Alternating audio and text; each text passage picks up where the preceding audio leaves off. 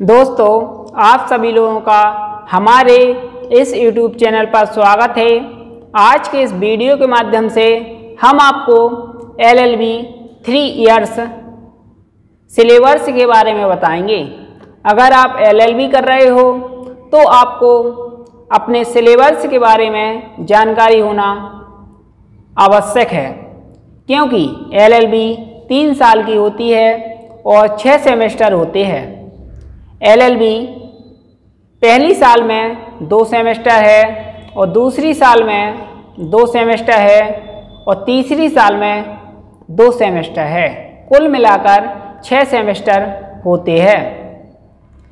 L L B first semester syllabus के बारे में आज हम आपको इस वीडियो के माध्यम से बताएँगे और यह भी बताएँगे कि आपको किताब से पढ़ना है, कि बैरेक्ट से पढ़ना है, कि नोट्स से पढ़ना है। दोस्तों, सबसे पहला सब्जेक्ट है जनरल इंग्लिश, यानी कि सामान्य अंग्रेज़ी भाषा। दोस्तों, अंग्रेज़ी में ना तो आपको किसी किताब से पढ़ना है, ना ही ट्वेंटी से पढ़ना है।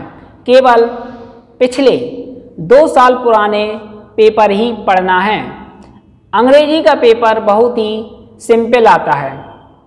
अंग्रेज़ी के पेपर में पूछा जाता है, एप्लीकेशन लिखने के लिए, हिंदी टू इंग्लिश ट्रांसलेट करने के लिए, इंग्लिश टू हिंदी ट्रांसलेट करने के लिए, और सिनोनेम्स एंटोनेम्स अगर आपसे थोड़ी सी ग्रामर बनती है तो आपसे इंग्लिश का पेपर बन जाएगा।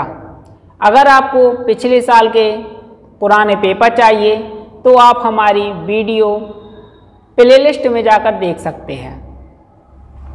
इसके बाद दूसरा सब्जेक्ट आता है लॉ ऑफ़ कॉन्टैक्ट प्रथम।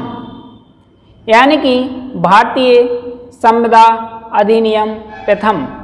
इसके लिए दोस्तों, आपको बैरेक्ट से पढ़ना है।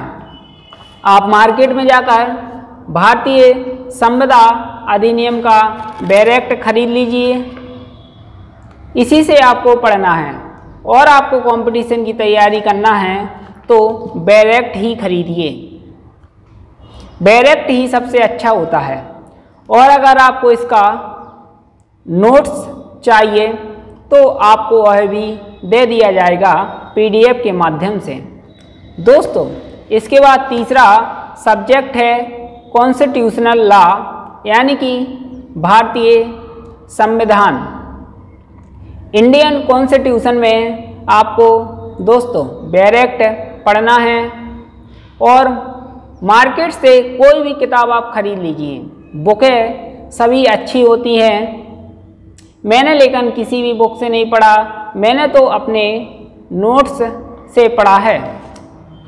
अगर आपको भारतीय संविधान का नोट्स चाहिए तो आपको वह भी उपलब्ध करा दिया जाएगा। इसके बाद चौथा सब्जेक्ट है दोस्तों लॉ ऑफ़ टॉट यानी कि अपकृत्य विधि।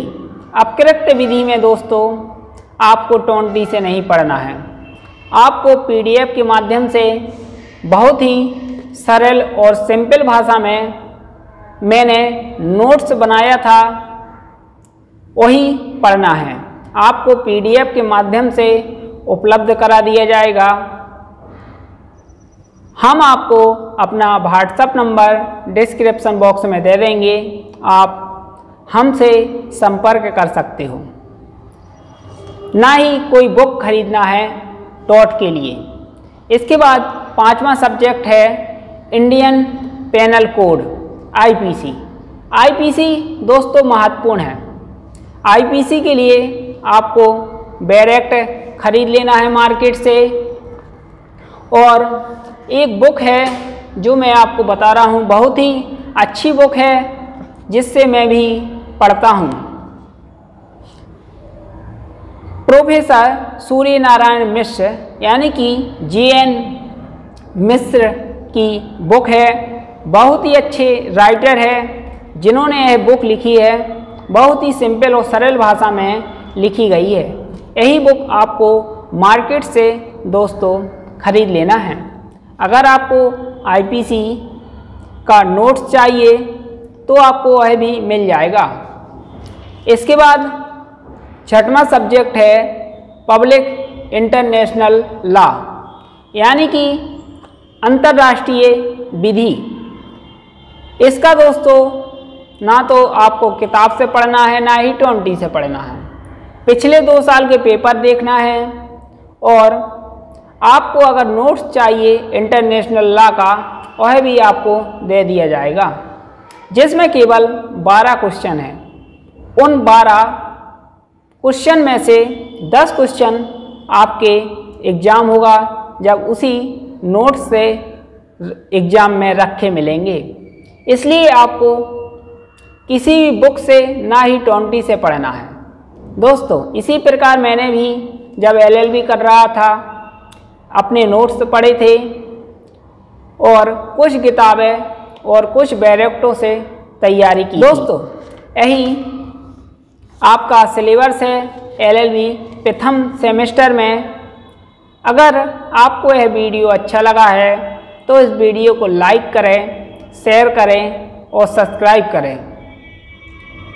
और अगर आपको किसी भी प्रकार की मेरी हेल्प की ज़रूरत है तो आप कमेंट बॉक्स में कमेंट करें।